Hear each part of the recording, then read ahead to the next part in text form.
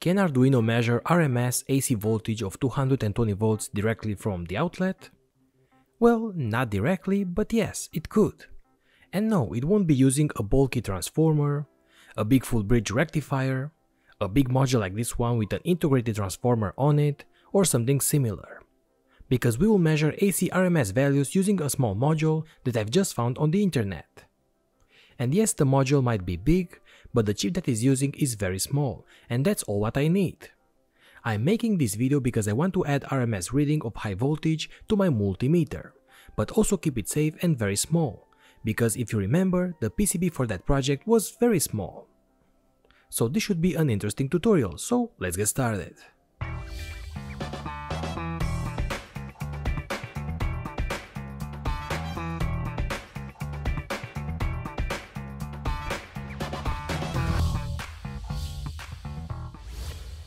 Hey guys, PCBWay is sponsoring this video and let me just tell about their services. For example, look how awesome their prototyping PCBs are. And you can get these for only $5. They are so professional and they will make your project work a lot better. And to order such PCBs, you only need a few minutes on their website, where you can select any configuration that you want for your boards. Along with that, you can also order the SMD stencil for soldering the components using solder paste and you can also use their services for flexible PCBs and create some unique projects.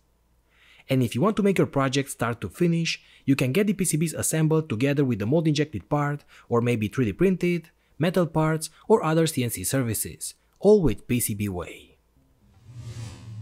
What's up my friends, welcome back. The Arduino could measure analog values on its analog pins from A0 to A5. But the values could go up to only 5 volts, otherwise the Arduino would get burned. Also we want RMS, not just a simple analog read. I want to measure 220 volts AC directly from my home outlet. Connecting high AC voltage to the Arduino is very dangerous, and should never be done directly. So before we go and use the module that I was talking about, let me tell you that usually to measure AC voltage with an Arduino, we use a transformer because in that way we can separate the dangerous high voltage AC from the 5 volts low voltage of the Arduino. And then we have two options. We can add a voltage divider or maybe an operational amplifier. Or maybe both. With the voltage divider it will be something like this. We have a divider between the output, and another divider from 5 volts of the Arduino in order to add a 2.5 volts offset, so we could measure both positive and the negative sides of the AC wave. And this is not that precise and is affected by the resistor tolerance. So a better way is to use an op amp, because in that way we can add a good offset and we don't affect the input signal at all. Instead of using this bulky transformer, well for example this other module has all that, but smaller. As you can see, it has a smaller transformer. And the ratio of this one is of 1000 and 2 mA of current value. It also has an operational amplifier, so all we need to do is to connect this to the Arduino and to the voltage that we want to read. The connection would be something like this. And this would be the code. Every 2 milliseconds we make a reading and since the main outlet is of 60 Hz, that is a pretty decent sampling rate. We make a few measurements. And then we calculate the root mean square and print the value. And you have this code and the connections below. So connect the Arduino to the module and an LCD screen. I upload the code to the Arduino and give it a test. And there we have the voltage on the screen and the value is pretty close to the correct one, as you can see on my multimeter.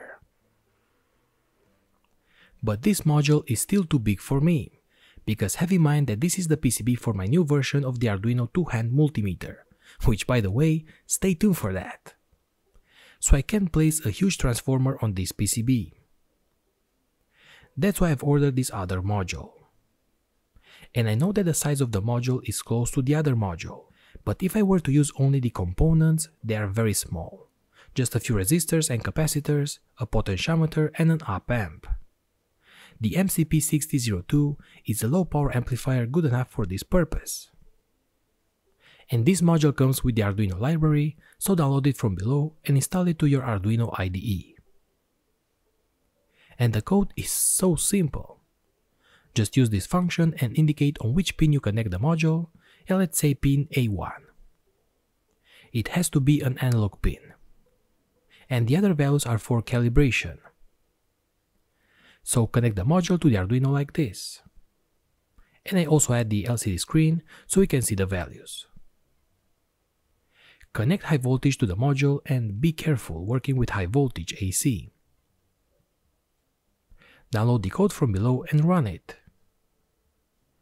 As you can see, the value it reads is not correct, is 750 volts, so we need to calibrate it.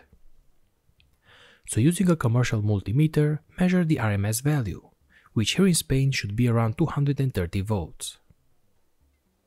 To get a calibration, we need to use this formula.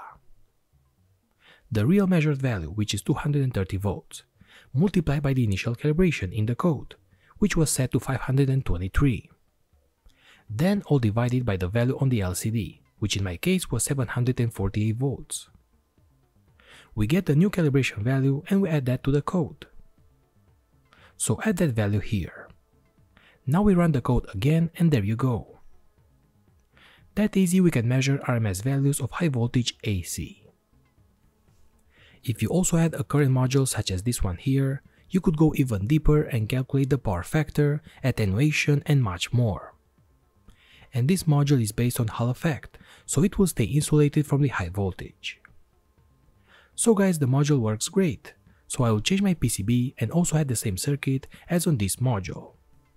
So my next version should also be able to measure AC of high voltage. Obviously working with high voltage, we should also add a fuse and other safety features, as any good multimeter has. As for the circuit, as you can see on the module, from the high voltage input, we have a voltage divider with 4 resistors, and the amplifier has a potentiometer for fine adjustments. I want to reverse engineer this module and maybe post it on my website. And you have the library on GitHub if you want the code. So guys, these were some methods to measure AC voltage with an Arduino using an external ADC of 16 bits would increase the resolution even more.